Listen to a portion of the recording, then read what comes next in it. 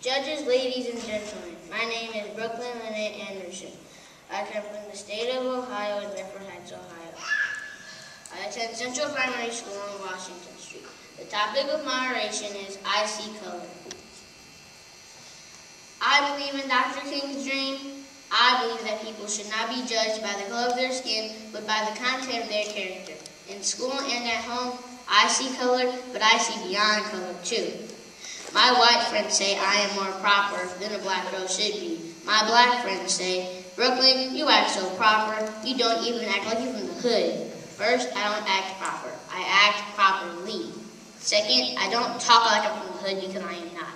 And where is the hood anyway?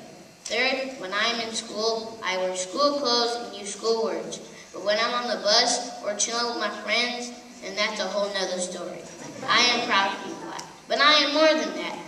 My friends to see my color. They need to look beyond my color too. I like to watch two TV shows. One about a young black girl and a young white girl. Both are smart and classy. My dad knows that both date guys, but none of the guys are black. My mom knows that the princess in the new Disney movie is black, but her prince isn't. My parents are concerned I'm never going to get to see a good relationship between black girls and boys. I wonder why it matters to this kid.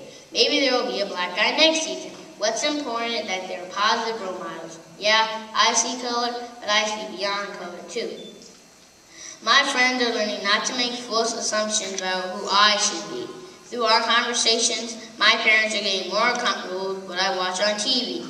We're having more conversations about the role that race plays in our lives. Maybe we haven't made it to Dr. King's promised land, but I think we have made it to the mountaintop. I see color, but I see beyond color too. I see a day when Dr. King dreams, Dr. King's dream comes true. Thank you.